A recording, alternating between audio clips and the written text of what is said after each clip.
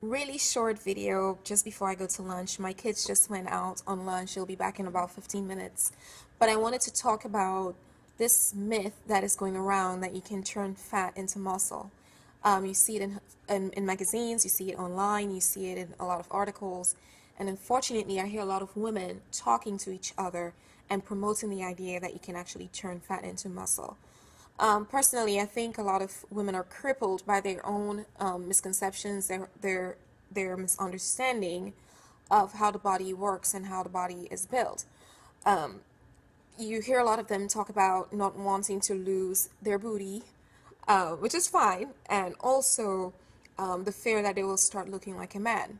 Two things. Uh, you are not going to lose your booty. Your booty is a muscle, and um, you know, the gluteus maximus muscle and any muscle can be built. So if, even if you had a big booty to begin with, um, you know, with exercise and, and a proper diet, you will um, have a good looking, solid quality booty.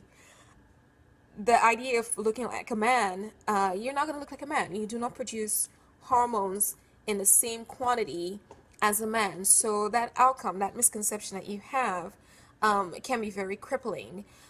Before I move on, I just want to encourage people to um, go out there and find information. Um, you will be amazed as to the sort of um, misconceptions we have and how misguided people can be. Um, and for some reason, people are just failing to go do their research, do their homework, so that it can be enlightened. All right, super quick muscle and fat are two different animals. Um, you know, I like to think of um, muscle as active tissue.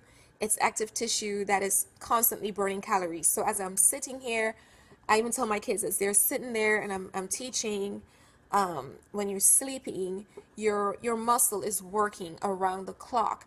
You know, it's kind of like um, an engine running in neutral, right? That that that car is not going anywhere, but the engine is on in neutral, but it's still doing some sort of um, work. It's still burning gas, gasoline. When you move around, of course, you burn more calories. So just like when the car goes faster, you use up more of the gasoline in the car.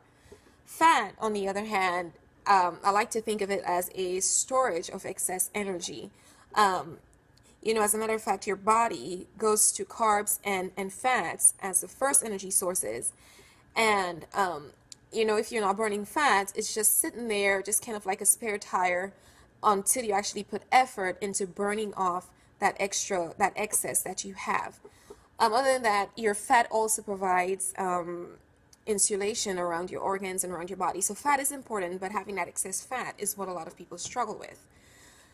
So to get rid of fat and build muscle, um, it can be challenging because you're kind of, you know, you're in order to do one, you need to cut down your calories, and in order to do the other, you you need to um, take in more calories. You need to have a surplus, surplus, sorry, of calories. So, in order to maintain an environment that facilitates fat burning, um, you must deplete yourself of calories. Growth, muscle growth, requires extra calories. It's kind of like building, um, you know, an extra room in a building where you need extra materials, right? You kind of you want to build your body, you want to build your muscle, you need extra calories to build that muscle. In addition to that, um, insulin is a key component of muscle growth. And insulin is like the enemy, it's like the antichrist of um, of fat burning. And insulin insulin is going to be released every time you eat some carbs. So there's always that little battle that is going on, and most people find that they cannot do both at the same time. For me right now, I'm actually in the bulking phase, so my diet looks pretty it's, it's different from what it's going to be in about six months to a year when I start cutting. Okay, but a lot of people do struggle because to lose fat, you need to cut down your calories, but to build quality muscle, you also need to um, have extra calories.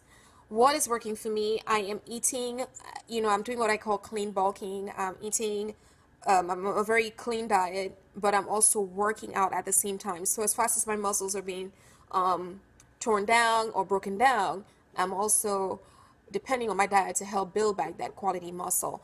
And so far, I've put in about 15, 20 pounds of um, protein or muscle.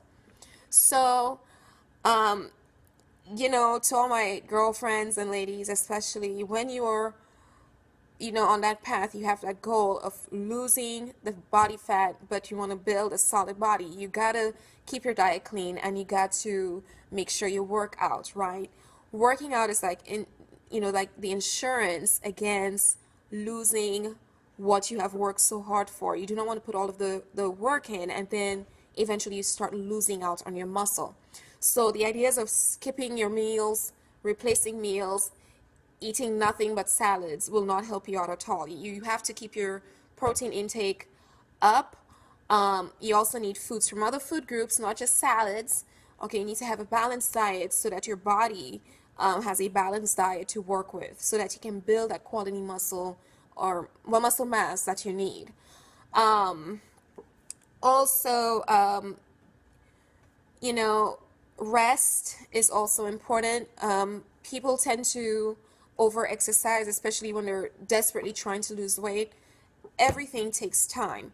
Um, that visual change that you want to see with your body takes weeks, months, even years. And no shortcut. No, there's no shortcut. There's no magical secret. Um, there's no gimmick that will work for you to have a great looking body. It truly takes um, dedication, it takes consistency, it takes constant upkeep with your goals and your plans, um, and and real focus to kind of um, get the results that you're looking for. Change truly takes time.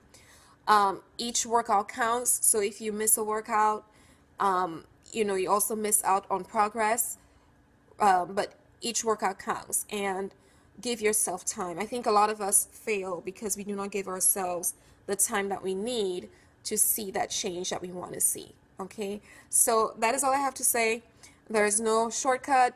Um, you cannot turn turn fat into muscle. You have to work for it.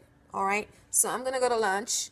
Um, the kids are gonna be back here in a second, and I hope you kind of take this information and you go read up about it because it's really a myth and it really it's a little peeve. It hurts me when I hear women, especially, saying that they they they're going to turn, they're going to eat and get a big booty, and then they're going to convert that fat into muscle.